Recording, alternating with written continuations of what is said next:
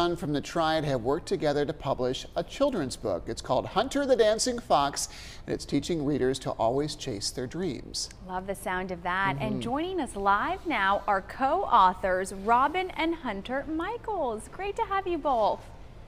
Good morning.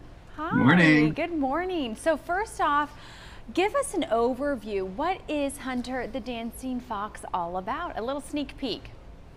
Yeah, so Hunter the Dancing Fox is based on my true story. Um, growing up in a small town and trying all the things that maybe boys are supposed to do, uh, finding dance and achieving his dream.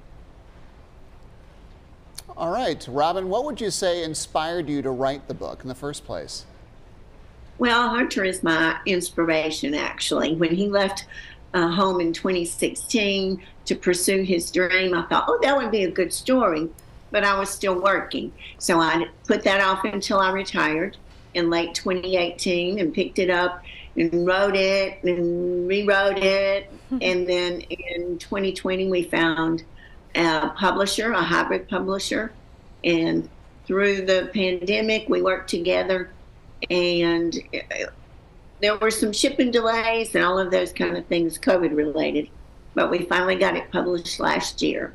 So it was, he was the inspiration for the story, but I thought that it would help other boys and girls to know that you can follow your dreams mm-hmm. and achieve them. Yeah, and it looks like you are achieving them. Hunter, we're showing some photos from your childhood mm-hmm. and then probably some recent photos. Looks like you were in New York City. I mean, talk through your journey of kind of, you know, going through life and then being able to put your journey on paper. Yeah, so um, I started ballet when I was about seven um, in locally at High Point Ballet. Um, and so then I continued through high school and um, then ended up going to college in Pittsburgh. Um, after that, I found myself on doing a regional productions on different tours. I've toured all over the U.S. I've been able to tour internationally. You know, performing in China and Paris and Taiwan. Really, just amazing places. Um, and then I was lucky enough to move to New York City, and now I've ended up at Wicked on Broadway. Oh my goodness. That's amazing. that is yeah. so awesome. And mom, I'm sure you are so very proud too. I'm very proud. I used to use him as an example when I taught my students when I was a school counselor all those years. And so it's good to see him live his dream.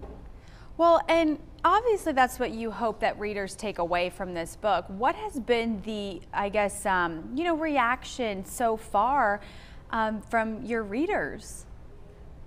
Oh, I just went on Tuesday to a first grade class and they were very engaged. And of course, in the book, they see themselves because they try, Hunter tried all the activities, sports and all of those things and finally found dance. And so, um, they see themselves and then it gives them hope that they can learn and do and achieve whatever they want to. Mm-hmm. And it's unique to be able to do a project like this with your parent. So, Hunter, bring that to life for us. I mean, being able to write something like this with your mom because she believed in you, right? Every step of the way. Mm-hmm. And having her as my support system is has just been so monumental to my success, and I, I am so grateful for that.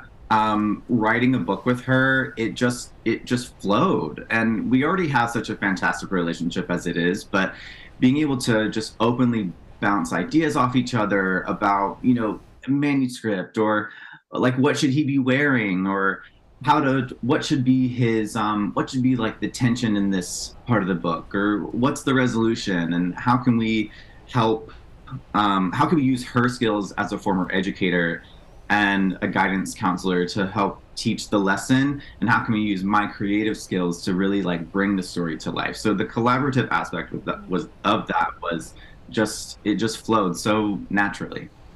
It did well it, it sounds like a, an amazing book. Uh, tell our viewers today what's what's the easiest way they can get a hold of that so the best way to get it, you can go to dancingfoxproductions.com. That'll tell you everything you need to know about the book, give you reviews, give you a little bit about that, a little bit about us, and there's a link there where you can order on Amazon. Awesome. And we have the website on the screen too for folks at home. Hunter and Robin, thank you for being an inspiration. I can't wait to read it too. And thank you again for joining us this morning.